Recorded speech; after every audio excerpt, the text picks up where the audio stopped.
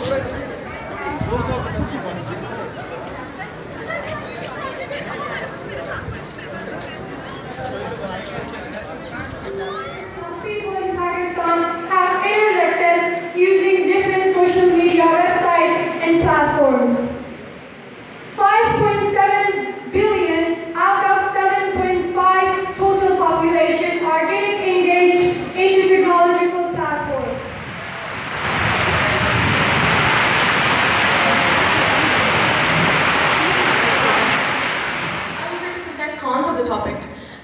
I did say that social media has multiple cons, but I didn't say that it has no good use. It depends entirely upon the user how they use social media. If they want to use it properly, they can use it for many different things. There are many people in the world, 1.8 billion earning from social media, but there are also 9.8 billion losing, losing their lives to social media. They want to live fake lives. I just said that social media has more of a bad side to look at rather than looking at its good side. Motion for social media has won.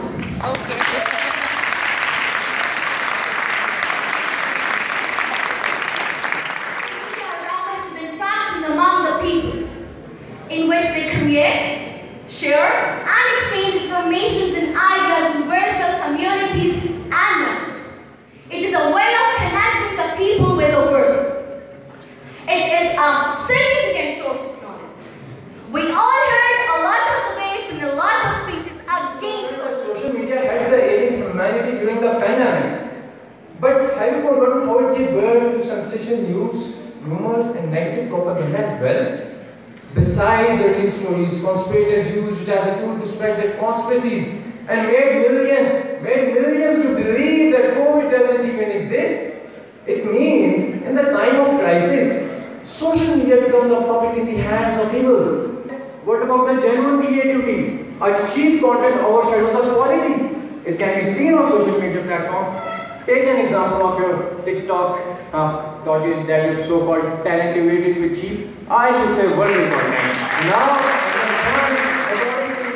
पांच आपके senses हैं कौन से पांच senses हैं the sense of site smell taste touch hearing hearing Research की कि अगर ये पाँच सेंसेस के ऊपर जो इंफॉर्मेशन आपको बम्बार्ड करती जा रही है ना, अगर उस पर कंट्रोल कर लें तो they will have control over your mind they will be able to control you and make robots out of you who will be force to think what they think they will force you to think what they want you to think तो वो आपके कानों को वो सुनाएँगे जो उनका दिल चाहेगा और उनको नाम आपने सुना होगा। फिर आपने अमेरिका का media giant tycoon Ted Turner का नाम सुना होगा।